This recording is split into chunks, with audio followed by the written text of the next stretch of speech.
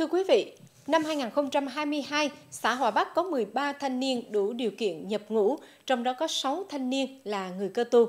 Đây là năm mà hai thôn này có số lượng thanh niên trúng tuyển cao nhất. 100% thanh niên đều tốt nghiệp trung học phổ thông trở lên.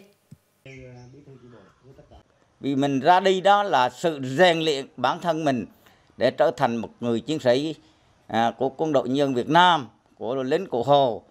Nên là các cháu là cố gắng là à, an tâm. À, biết rằng là đi một thời gian là mới đi thì nhớ nhà. Nhưng các cháu đừng nên nhá, là nhớ nhà có rồi là nghĩ tâm bậy rồi chạy về đau ngủ thì là không không được. Trước khi các bạn trẻ lên đường tổng quân để làm người lính cụ Hồ, cấp ủy, ban nhân dân thôn, ban công tác mặt trận và các đoàn thể đã phân công nhau đến từng gia đình để gặp mặt động viên tặng quà, đồng thời vận động không tổ chức liên hoan chia tay người thân bạn bè khi địa phương xuất hiện các ca F0, trong đó có hai thanh niên trúng tuyển.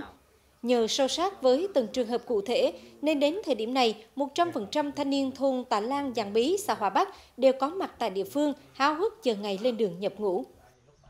À, sắp tới là thời gian trong nhập ngũ cũng là ở nhà thoải mái, không có sợ hãi gì hết. À, âm tâm tư tưởng lên đường, à, chờ chờ đến ngày đi thôi. Nên là mong là sức khỏe hết tất cả anh em, à, với lại à, không à, không ngại ngần hết. Cứ vào đó là là tâm tư tưởng thôi. Tinh thần à, tư tưởng của gia đình và anh em thanh niên trên này là rất chi là là là là, là yên tâm. Anh em vẫn phấn khởi và rất chi là, là, là chờ đến ngày hôm đó. Anh em rất chi là sung sướng và chờ đến cái ngày để anh em lên đường những năm qua, nhờ quan tâm đến chính sách hậu phương quân đội kết hợp với tuyên truyền luật nghĩa vụ quân sự, nên thanh niên xã Hòa Bắc nói chung, thôn Tà Lan Giàng Bí nói riêng luôn xác định cho mình trách nhiệm của thế hệ trẻ đối với Tổ quốc.